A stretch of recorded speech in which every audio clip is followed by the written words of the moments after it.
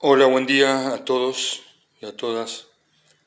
Les quería mostrar este conjunto de árboles eh, que son Acer palmatum, que tengo de, esquejes hace varios años.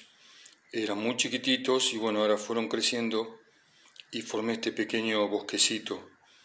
Lo que les quería mostrar es que un árbol caduco muestra su verdadera eh, belleza cuando está desnudo.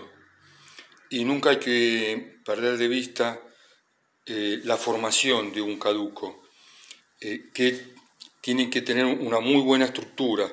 Cuando estamos hablando de, un bosquecito, tenemos que acordarnos que todo el conjunto hay que trabajarlo como un solo árbol, con, con ramas bajas hacia un lado y hacia el otro. Y lo que les decía recién, nunca perder de vista la estructura del árbol. Para eso hay que formarlo desde chico eh, correctamente. Fíjense que yo puedo pasar la mano entre los, entre los niveles perfectamente sin que ninguna rama me lo impida ni me lo bloquee el paso. ¿eh? Eso es fundamental para, eh, en la formación de un caduco.